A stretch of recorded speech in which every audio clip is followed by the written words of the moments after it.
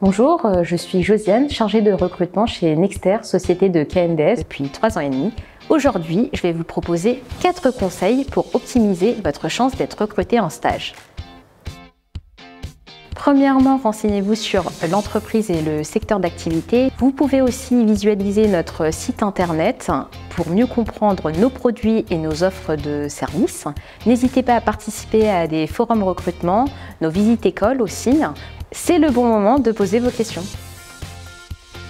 Deuxièmement, votre CV est votre première vitrine de candidature. Il va falloir être concis et précis tant sur le fond que la forme et adapter votre CV et votre lettre de motivation par rapport à l'offre de stage à laquelle vous candidatez.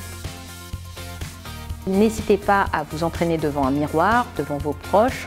Mettez en avant vos projets académiques, extrascolaires, vos soft skills dans des domaines culturels, associatifs, sportifs.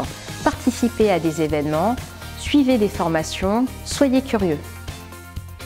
Si vous êtes intéressé par nos offres de stage, n'hésitez pas à candidater sur notre site carrière et à nous suivre sur nos réseaux sociaux. Nous avons bien des projets passionnants à vous proposer. À bientôt!